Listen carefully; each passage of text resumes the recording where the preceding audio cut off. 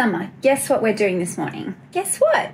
We're going to see a really big waterfall and then we're going to see something that looks kind of like the moon. Good morning, guys, and welcome to day six of our New Zealand North Island road trip. We have woken up in Taupo this morning, so we didn't actually end up filming yesterday, day five. That was just a transit day and a rest day for us.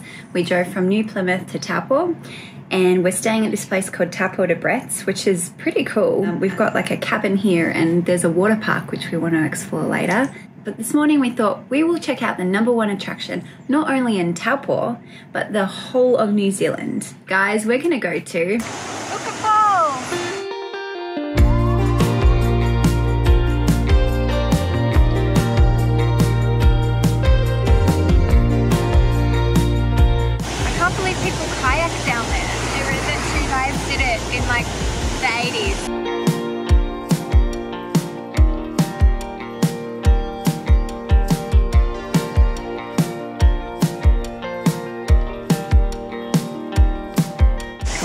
natural water slide I've ever seen. Would you go down, babe? Uh, look, if I didn't have the child and the love of my life, I'd consider it. It's too much to live for, for a bit of fun. That is so powerful.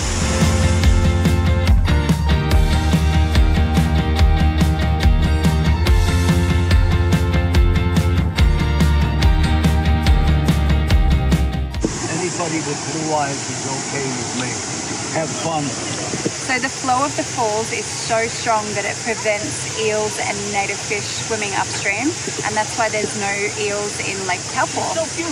It's like crystal blue, and it's so nice to see such a blue waterfall on this trip because I remember at Paihia, the Ruru Falls Yeah. was so brown and murky. It was still cool, but to see it this blue is really special. Seeing a waterfall like this reminds you of how powerful nature is, and I'm always in awe when you can see the power of it and see the action of nature. It's really incredible. So the reason why Huka Falls is so mighty and powerful and intense is because the Waikato River, which is usually 100 metres wide, is being forced to narrow through this chasm, which is 15 metres wide.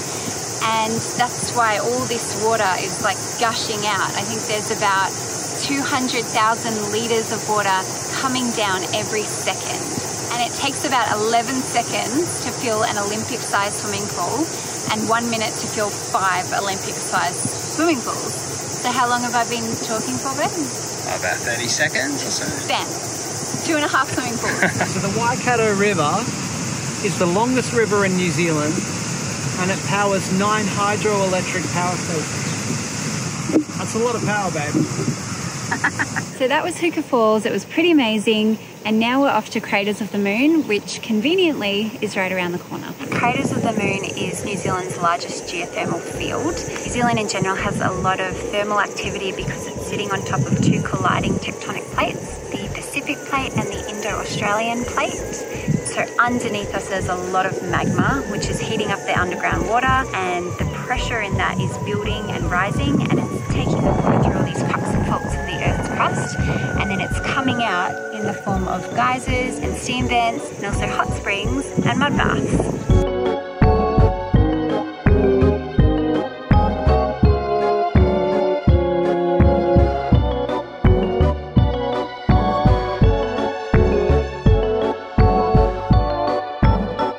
Looks like there's heaps of smoke machines just placed out in the field. But the crazy thing is, it's just nature doing its thing.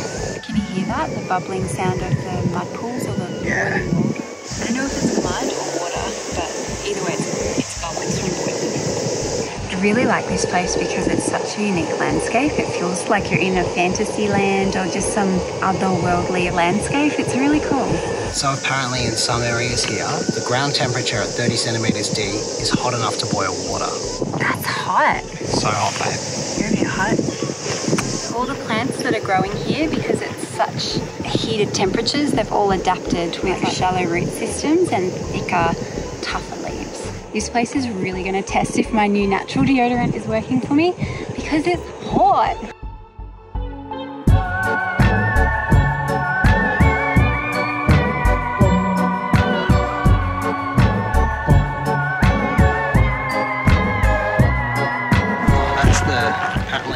There is the, the best part. Do you want to see it? Might as well. Okay. Let's do it.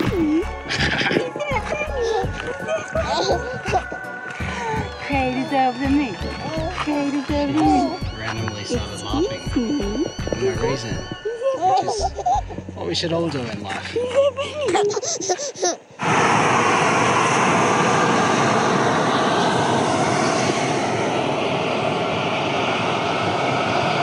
One last activity for the day. So one of the reasons we stayed at Taupo de Brett is it has a water park. And to finish off this wonderful day, we're gonna go for a swim.